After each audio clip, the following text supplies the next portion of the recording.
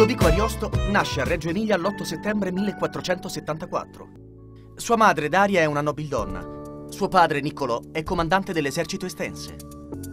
Nel 1484 la sua famiglia si trasferisce a Ferrara.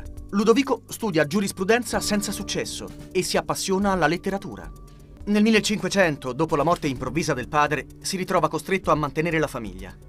Accetta un incarico da capitano della Rocca di Canossa e inizia la sua carriera a corte. Immaginate un poeta, cioè un uomo che sogna soltanto di scrivere, di imparare il greco, il caldeo, cioè l'aramaico, e che invece la vita costringe a fare i conti con la realtà.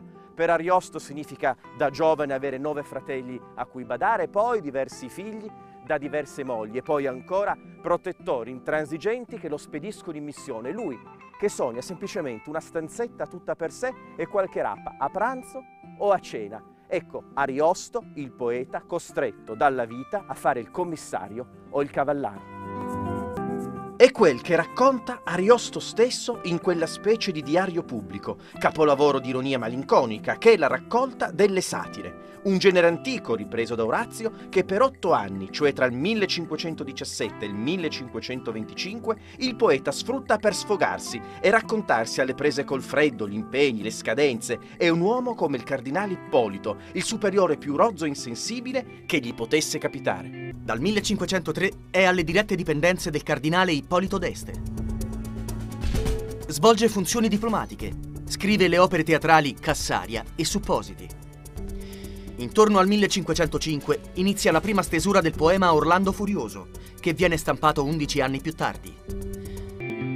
Reazioni del cardinale Ippolito d'Este all'ascolto degli immortali versi di Ludovico Ariosto.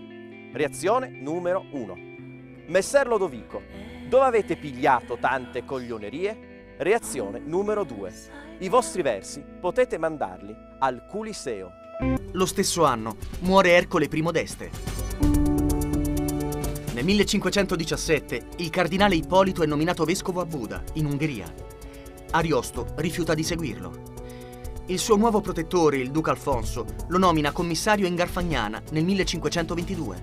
Ariosto fa parte di una nobiltà di basso rango e quindi è costretto a prestare servizi alla corte e questi servizi entrano molto presto in conflitto con la sua passione letteraria, no? anche se lui scrive un poema che è destinato ad esaltare le glorie degli stessi estensi, non ha quella ricezione così che lui spera fino in fondo, no? per cui sorgono i conflitti col cardinale Ippolito d'Este, di cui lascia il servizio e dopo qualche eh, mese entra invece al servizio del duca Alfonso che però lo costringe a tanti viaggi anche pericolosi, anche nei conflitti tra Ferrara e, e il papato di Roma e poi a un certo punto gli assegna questo governatorato eh, nella regione proprio impervia, frequentata quasi soltanto da banditi, come dice lui, che allora era la Garfagnana e quindi per due anni Ariosto è costretto e, e a, a, fare, a svolgere questa funzione e la svolge con grande rigore e grande serietà.